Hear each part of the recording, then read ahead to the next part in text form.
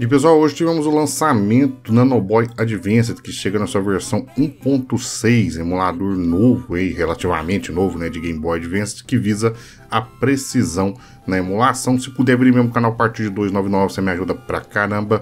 Lembre-se, seu linguista, na hora de realizar suas comprinhas, vai acompanhar no AliExpress, usa meus links da descrição e siga também nas redes sociais, beleza? Pessoal, Nanoboy, eu falei que ia mencionar eles aqui para vocês né, em um futuro, esse futuro chegou, tá? Eu mencionei ele junto né, com Sky Emu brevemente, mas para você que não sabe, Nanoboy Advance é um emulador de Game Boy Advance focado em precisão, que usa inclusive precisão de ciclo, tá? Uma emulação de ciclo quando possível e ele oferece tá, algumas qualidades aí superior ao MGBA, por exemplo. Nós temos uma alta compatibilidade e também precisão, inclusive muitos né, dos testes de precisão eles conseguiram passar né, em relação ao MGBA, que já é preciso pra caramba.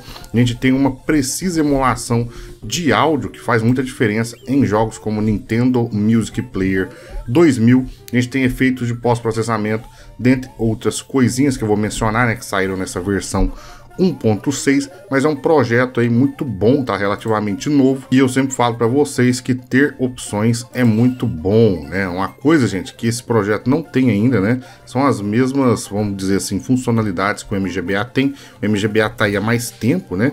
e a gente consegue muito mais coisas, muito mais funções com ele, tá pelo menos aí por hora, mas à medida que o progresso for acontecendo, creio que novas funções serão implementadas, vale a pena você dar uma testada aí. Gente, o que chegou na versão, gente, 1.6, né, lançada há dois dias atrás, basicamente a gente tem mais aumento de precisão, né, em vários jogos, inclusive na emulação da PPU também. Aí a gente tem alguns destaques, como a introdução né, de save state, que não tinha na versão 1.5. Temos a emulação do sensor solar, chamado aí de Boktai, né, que está presente em um cartucho específico tá, e utiliza a luz do sol né, para realizar algumas funções. Temos a habilidade de remapear tá, os controles dos jogos, né, caso você tenha múltiplos controles conectados.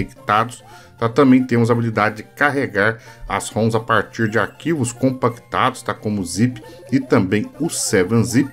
Daí também temos a habilidade de carregar os jogos, tá, utilizando drag and drop. Basicamente você pega a sua ROM e arrasta para a janela do emulador que ele vai carregar de forma automática e também temos a detecção automática do tamanho e o save automático desse tamanho do EPROM do Game Boy Advance. Como eu falei para vocês, vale a pena você dar uma testada, dependendo, né, tem algum jogo ali que o MGBA não consiga, né, rodar algum jogo específico que você queira, tá? E talvez o Nanoboy Advance consiga realizar este feito devido a ter uma precisão maior, beleza?